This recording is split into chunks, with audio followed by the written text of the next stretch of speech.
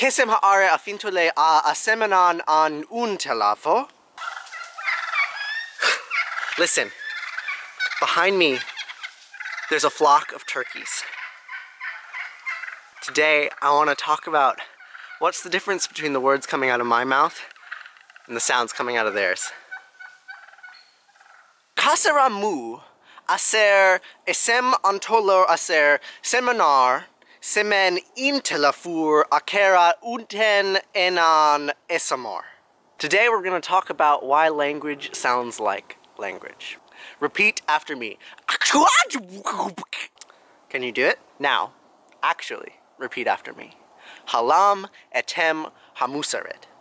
That one's a little easier, yeah? There are two things that separate language from gibberish. One is digitization, and the second is redundancy. Digitization is done by the use of phonemes. You can basically think of phonemes as syllables, and they're really important because they allow language to be discretized. What that means is that you can separate one sound from another and break your idea up into individual chunks. Look at the sun here. What those chunks do is they allow your sounds to be very easily replicated. When I say something like Hasuiu, it's very difficult to know where it begins and where it ends and, and all of the different individual details in the sound, and so it would be very, very difficult for anybody else to say it. But when I say Haserim, your mind automatically does this sort of breakdown. It breaks it down into ha and se and reem. And it doesn't matter that you don't know what it means. I don't know what it means. It's still familiar sounds. You've made those sounds ha and se and reem in other words, and so you can do it again here. Basically, phonemes put everybody making and listening to a language on equal playing field because they all know the terms that they're going to be engaging in.